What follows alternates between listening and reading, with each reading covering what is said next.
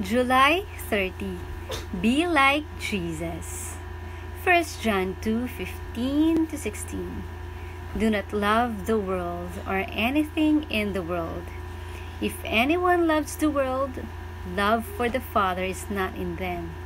For everything in the world, the lust of the flesh, the lust of the eyes, and the pride of life comes not from the Father, but from the world. We've often heard the expression, by beholding, we become. And that is definitely true.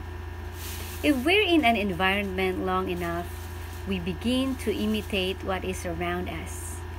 We become what we see. If we fill our minds with the things of this world, soon all interest in spiritual things disappear. But when we keep our eyes on Jesus, we soon become just like Him. Christ's every thought, deed, and action reflected His intimate relationship with His Father. We made time for worship, memorized Scripture, prayed, and took His instruction from God. Jesus had a godly heart.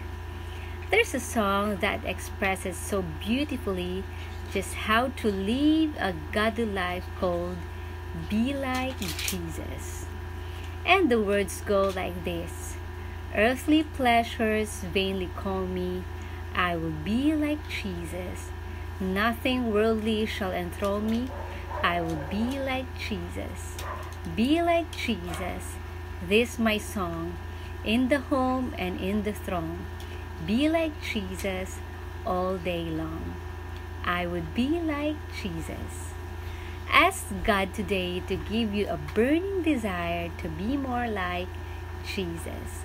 Good morning, everyone. Always smile and relax.